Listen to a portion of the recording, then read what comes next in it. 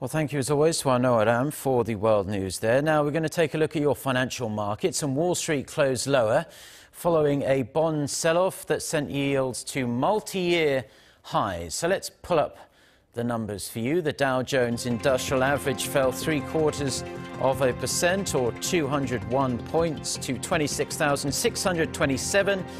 The S&P 500 slipped 0.8% to 29.01. The Nasdaq that fared the worst, dropping 1.8% to 7,879.